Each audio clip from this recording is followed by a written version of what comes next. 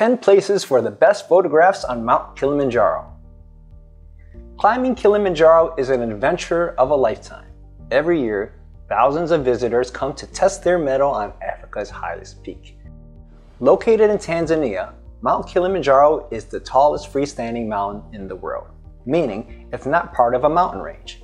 And as one might expect, being here presents many opportunities for spectacular, jaw-dropping photographs. The 19,341 foot high mountain is a stratovolcano made of ash, lava, and rock. It was formed 750,000 years ago by the eruption of three volcanic centers, Shira, Mawenzi, and Kibo. Climbing Kilimanjaro takes climbers through five distinct ecological zones, each of which offers different scenic characteristics.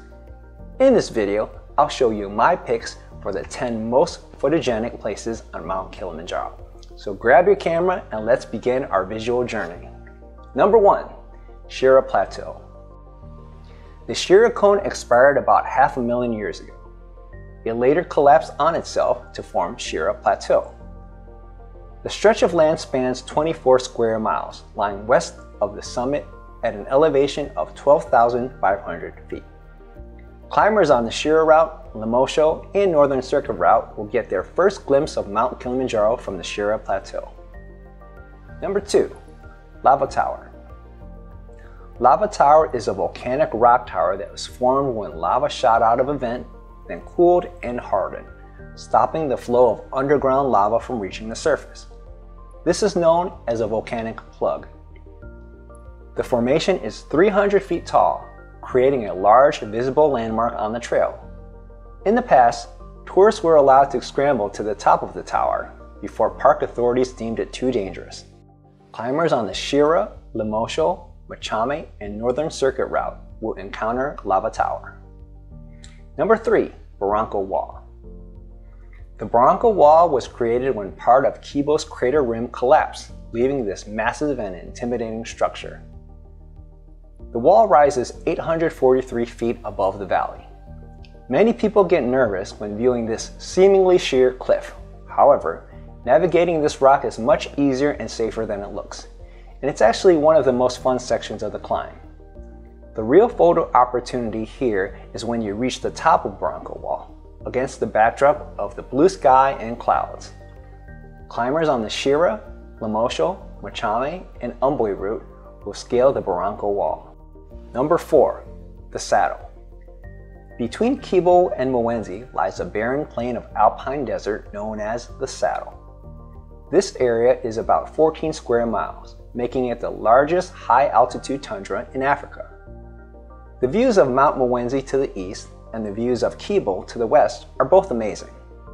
Climbers on the Marangu route and the Rongai route will cross the saddle on the way to the summit. Number 5. Mawenzi Peak. Mawenzi is the second highest point on Mount Kilimanjaro. At a height of almost 17,000 feet, this area is made of very steep terrain and loose rocks. It's unique in appearance due to its spiky and jagged top. Because fatalities have occurred in the past, Mawenzi was closed to mountaineers for a long time, but recently it's reopened for technical climbers willing to face the potential hazards. Climbers on the Marangu and Rongai route will have great views of Mawenzi from camp. However, Mawenzi is observable from all of Kilimanjaro's routes. Number 6. Barranco Valley The Great Barranco Valley lies south of Kilimanjaro summit. The valley floor is a moorland environment dominated by a groundsel known as Dendrosenecio kilimanjaro. These unmistakable succulents, which look like they are from out of this world, are found only on Mount Kilimanjaro. Be sure to snap some photos as you approach Barranco Camp. Climbers on Shira, Lemosho, Machame, and Umbwe will hike through this area. Number 7. Southern Icefield Despite being near the equator, Kilimanjaro has a glaciated peak. Its world-renowned glaciers have covered the top for centuries, but are thinning dramatically in recent years.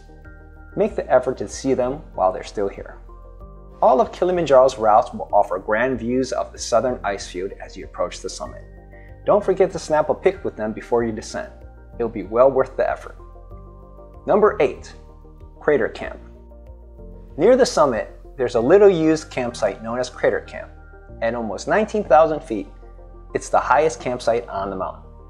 Climbers who stay here add a day to their itineraries, but in exchange, they have the opportunity to explore one of Kilimanjaro's last remaining glaciers. Additionally, they can climb to the crater rim. Crater Camp is used on our Lemosho Crater and Northern Crater route. Number 9. Uhuru Peak Uhuru Peak is the highest point on Kilimanjaro, 19,341 feet above sea level. When you see the sign, you know you finally made it to the top. The word Uhuru means freedom in Swahili. A wooden sign marks the spot for the obligatory summit photograph. Of course, every route tops out here. Number 10. Reusch Crater. Kibo, the highest of Kilimanjaro's cones, contains a crater named Reusch Crater. The main crater floor is partially collapsed, leaving inner walls on the south side as high as 600 feet. The ash pit lies within Reusch Crater. Scientists estimate that the last time Kibo erupted was 360,000 years ago. The volcano is dormant and may erupt again. You have the option to see Reusch Crater on the Lemosho Crater and Northern Crater routes. From Crater Camp, it's a one hour hike to see it. Bonus, from the sky. This shot isn't accessible on the mountain itself, but if you fly into Kilimanjaro Airport during the day, you might get a close view of Kilimanjaro from the sky. Keep that window shade open and be ready to snap that epic pic. The sheer magnitude of climbing Kilimanjaro will be apparent when you've seen it from an airplane. You should be able to spot the Uhuru Peak sign, southern, northern, and eastern ice fields, Reusch Crater, and the Ash Pit. Are you ready to see these places live with your own eyes? Visit Ultimate Kilimanjaro and get your adventure booked. Be sure to like and subscribe for more videos. I'll see you at the summit.